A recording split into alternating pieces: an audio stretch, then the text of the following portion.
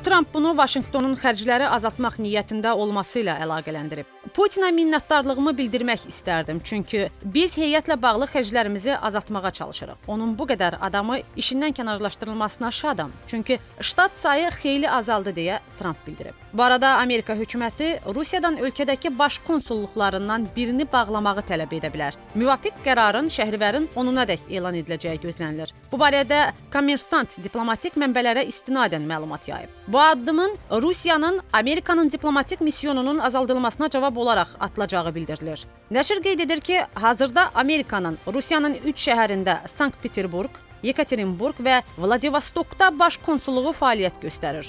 Rusiyanın isə Amerikanın 4 şəhərində New York, San Fransisko, Seattle və Houstonda baş konsulluğu var. Rusiyanın hansı baş konsulluğunun bağlanacağı barədə məlumat verilmir. Qeyd edək ki, rəsmi Moskva Amerikanın Rusiyadakı diplomatik misyonunun əməkdaşlarının sayının 455 nəfərədək azaldılmasına dair göstəriş verib. Bundan başqa, Amerika səfirliyinə Moskvadakı bağ evindən və anbarlardan istifadəyə qadağa qoyulub. Vladimir Putin Amerikanın Rusiyadakı diplomatik nümayəndəliklərinin 755 əməkdaşının ixtisar ediləcəyini bildirib. Bu addım Konqresin Rusiyaya qarşı qadağalar haqqında qanunu qəbul etməsinə cavab olaraq atılıb.